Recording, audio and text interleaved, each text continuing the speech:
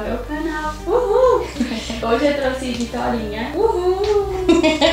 pra contar um pouquinho sobre a sua história, tal. Eu trouxe ela aqui primeiro. Se apresente. Oi, gente, meu nome é Vitória, eu tenho 17 anos, moro aqui em Carpina. Um ano mais nova. É, eu, eu trouxe Vitorinha pra cá porque eu estava orando, entendeu?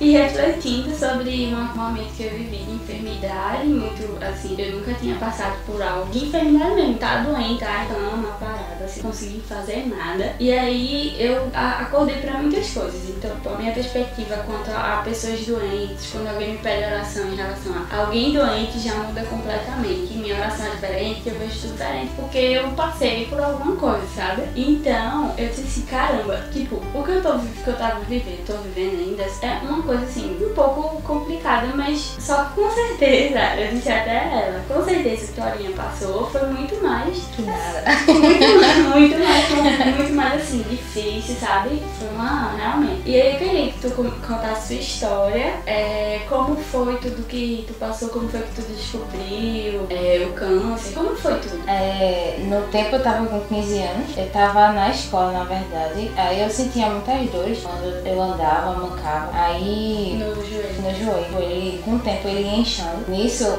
voltando, eu tava indo pra escola, senti muitas dores, tanto que, tanto que no caminho, quando eu andava, eu até chorei nesse dia, de muita dor. Aí quando eu cheguei na escola, eu fui mudar a posição. Minha colega foi me ajudar, só que na hora quebrou o fêmur, de tão corrido que o, o osso já tava pelo, pelo tumor.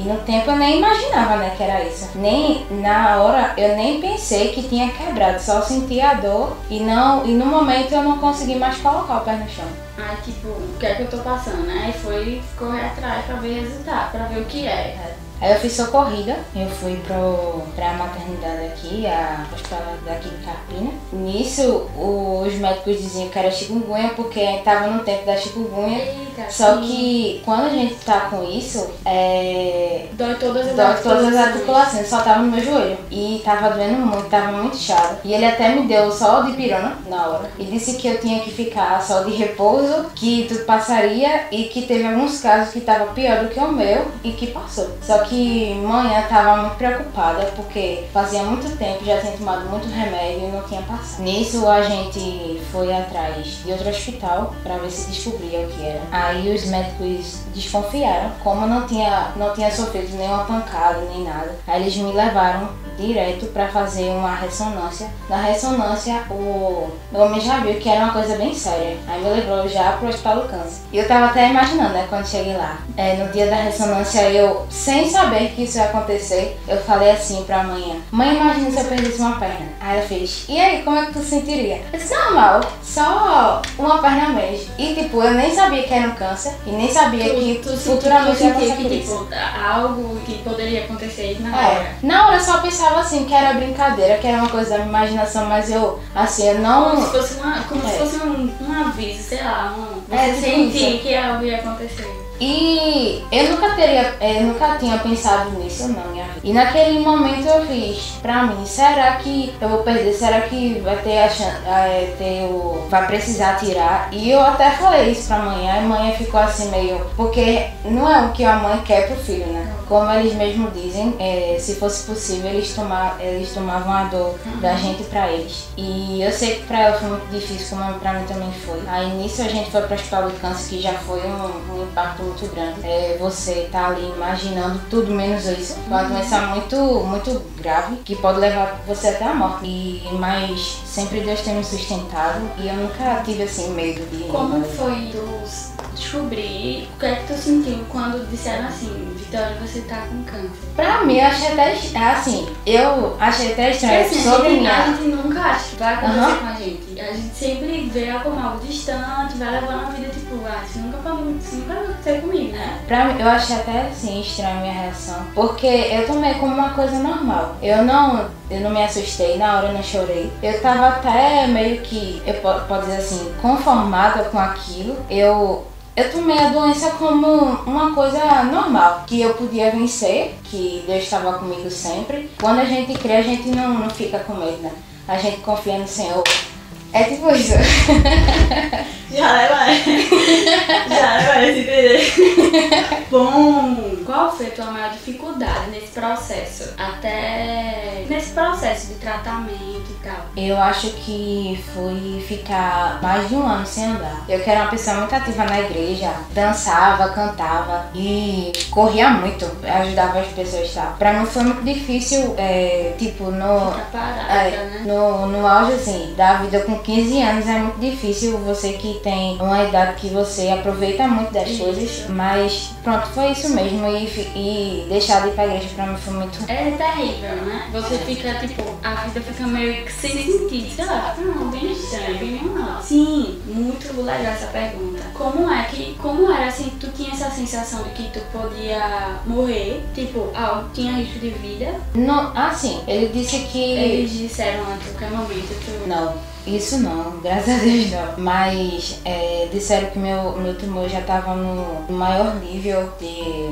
Assim, que eles, eles tomam um nível até grau 5, eu já tava no 4,5. do- Bem do- avançado, então. É, mas. E ele disse que se passasse mais um pouquinho, espalhava pelo corpo. E graças a Deus só tava nessa parte aqui. E não atingiu nenhum, nenhum órgão, nem Ah, então no caso, se fosse já no estágio de espalhar no corpo, aí realmente corria o risco, né? Entendi. Sim, uma coisa que é muito, a gente sensibiliza muito, principalmente mulher, em relação ao cabelo. Como foi esse processo de perder o cabelo? Mim foi muito massa. eu, eu gostei muito da ideia de raspar o cabelo. Tu gostasse? Eu gostei. Eu achava muito, muito Ah, legal.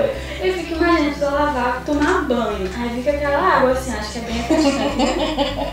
Eu gostei muito da ideia. É, tem algumas pessoas que não, não se acostumam, né? Porque muita gente diz que a beleza da mulher é é o cabelo. Uhum. Mas eu gostei muito. Eu, eu tava querendo mesmo aquilo. Eu, tava, é, no começo, eu dizia à minha mãe que mãe, a gente tem que começar logo, que eu quero me ver esse cabelo.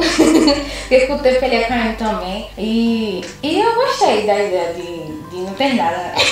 Sério? Caramba, mas tipo, é, mudou alguma coisa em tu, assim, quando você viu no espelho, como era a relação de Vitória e espelho? No começo é, é bem diferente. Tipo, vocês, obviamente, estranha, né? Porque, tipo, mais tranquilo, é diferente. No começo é bem, bem diferente, bem estranho, assim, mas com o tempo a gente vai se acostumando. Eu também gostava muito de usar lenço, usar touca. Sim, é, uma outra pergunta que eu queria te fazer. Como foi é, a questão de perder uma perna? O que, o que é que mudou dentro de tu isso? Como foi essa, essa questão? A questão de perder a perna foi pra mim, assim, um dos momentos mais pesados. Que, na verdade, não ia amputar, não ia amputar, ia colocar uma prótese por dentro. Só que No osso, né? Isso. É, o médico já tinha me falado que poderia ter o fato de, de ter que amputar ou fazer a botar a prótese. Ele falou que tinha essa possibilidade. Aí tem a possibilidade, porque o, a, a artéria estava muito junto ao tumor. Se tivesse dentro, tinha que amputar todo jeito. Se tivesse fora, aí podia colocar a prótese. Só que ela estava muito junto, aí não estava nem dentro nem, nem tão distante. Aí ele disse que ia ver se conseguia colocar. Estava mais certo para colocar a prótese do que amputar. Só que foi até. Eu estava acordada na, na hora da cirurgia e eu ouvi tudo, né? Tu ficava acordada. Foi, porque ele só Foi só pra foi da, pra Mas, ó, eu sempre, peraí, eu sempre quis saber isso. Como deve ser fazer uma cirurgia acordada assim, oi, tudo bom? tipo, não sente nada, né? É, você só tá acordado ali escutando o que tá acontecendo, mas não vê nada não, que ele bota fala nada. Ah, sim, com. Aí é, ele tinha secado o tumor, já, ia- já tirou o osso e tal, pra colocar a Aí ele prótese. dizendo, que Foi. Ele disse, ó, já sequei o tumor todo, pronto. Aí ia botar osso. Só que na hora a artéria estourou. Aí teve que amputar, ou senão ia, faz, ia ter uma hemorragia muito forte e ia, ia ter que, meio que eu ia morrer. Aí, E aí ele- corre risco de vida, porque aí ele teve que amputar. como eu estou em odontologia, eu já estou sabendo um pouco das coisas. Tipo, a artéria, foi a artéria, não foi? Pronto, o, o sangue do corpo todo ali. Então imagina, soltar o sangue do corpo todo foi realmente é muito grave. Tá? É Aí teve que amputar. Aí ele, na hora, né, eu tinha escutado meio que o sangue subiu assim. Aí eu fiquei meio no. Aí eu vi, no, porque tinha um pano assim na frente não ver. Aí subiu o sangue e falei, meu Deus, o que é que aconteceu? Aí ele fez, ó, a gente tinha secado tumor, a gente ia colocar prótese, só que sua artéria estourou. Aí a gente vai ter que amputar, tá certo? Aí eu falei, tá certo. Aí ele fez, eu vou começar, viu? Aí ele me contou tal. Aí eu disse, mas não se preocupe não, daqui a um ano você tá com uma prótese nova, andando por aí. Eu falei, tá certo. E aí? Aí, Como foi? Ai meu Deus.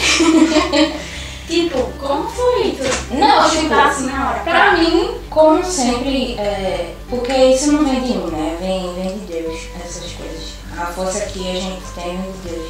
E nessa hora Deus me deu uma força muito grande de, de tipo, tá certo. Aí eu olhei pro, pro céu e agradeci ao Senhor, porque tudo que ele faz, ele sabe o que faz. Tu podia dormir sem essa. Amém. Menina, chama nada.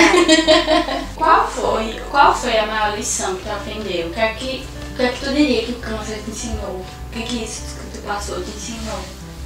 É, o câncer me ensinou que eu sou muito dependente de Deus, que tudo que acontece na vida de- da gente tem um propósito, né?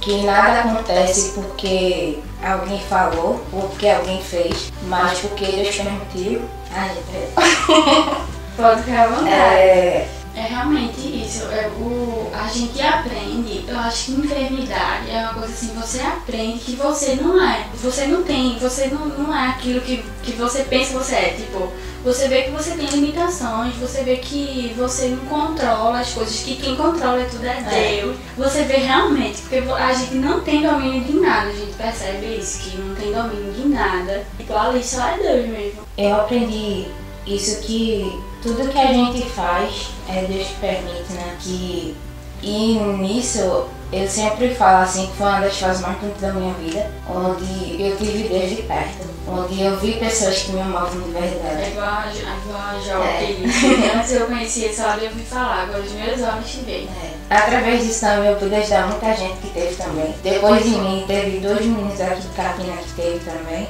E Jesus me, me ajudou a ajudar eles, porque eles tiveram o mesmo que eu, teve, teve amputação.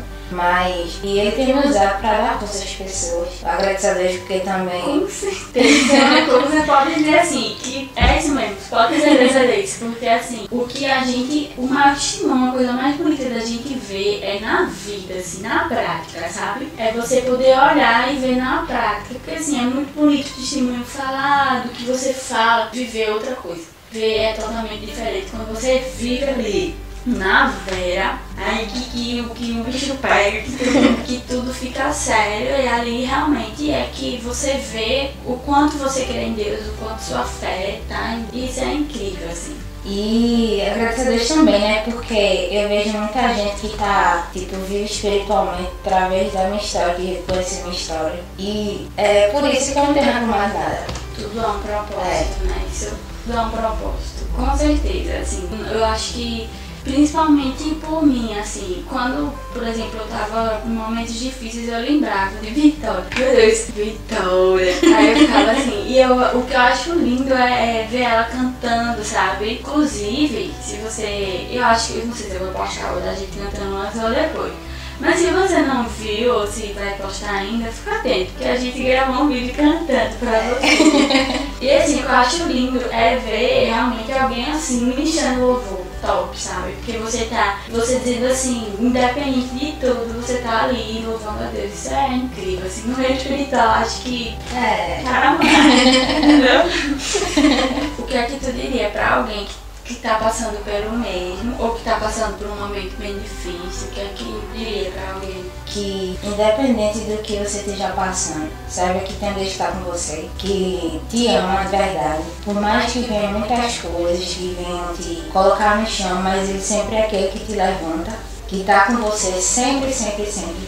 É aquela pessoa que você pode contar todos os momentos, que sempre está ali para te ouvir e para te ajudar também. Então é isso, confia nele que tudo ele fará e ele sempre tem nos ajudado. E vai ser agora que ele não vai ajudar a gente. E foi por você que ele se entregou na cruz. Então se ele entregou a vida dele por você, porque ele não pode te curar disso, porque ele não pode te levantar disso. Então é só isso, creia no Senhor que tudo pode. Eu acho que uma coisa importante pra gente falar é que Deus não nos prova nada porque a gente não pode suportar, sabe? Então, diferentes níveis, é, várias pessoas têm enfrentado vários problemas, diferentes níveis, e assim, uma coisa que, que muda com a forma que tá, o que muda. Peraí, calma o que muda como você vai enfrentar o problema ou como vai ser solucionado esse problema é como o que vai mudar é como você se comporta diante disso, é como você reage, é como qual a sua ação, sabe? Eu acho que pensamentos, tudo isso influencia, sabe? Um momento que que pensa muito baixo, é muito negativo, que não tem fé, tenta crer, é muito mais difícil da pessoa alcançar, sabe? Porque a fé move montanhas, né? É, é bíblico isso. O grão, se você tiver uma fé no grão de mostarda, ela pode mover montanhas. Então, a gente vê assim, a gente te vê como um milagre. A gente vê como alguém que expressa Jesus na vida, assim. Entendeu? Tem nem pra falar. Isso assim é, é incrível. É incrível, incrível. E é isso. Tem mais alguma coisa que falar sobre É como tu falou, é, Deus nunca dá uma coisa que a gente não possa suportar, né? Se ele me deu isso é porque ele sabia que eu podia chegar até aqui. Se ele dá a uma pessoa algo mais grave ou algo melhor, é, é porque ele sabe que você pode, você aguenta isso porque ele sabe o que você, como você é, o que você aguenta, então ele só faz aquilo que é melhor pra você, por mais que a gente não entenda. E a gente tem que entender que a vontade de Deus é boa, perfeita e agradável, dependendo do que a gente acha. E eu sei que a vontade de Deus foi essa na minha, que foi pra mudar a vida de outras pessoas. Então, como eu te disse, eu não tenho por que reclamar, eu só tenho que agradecer.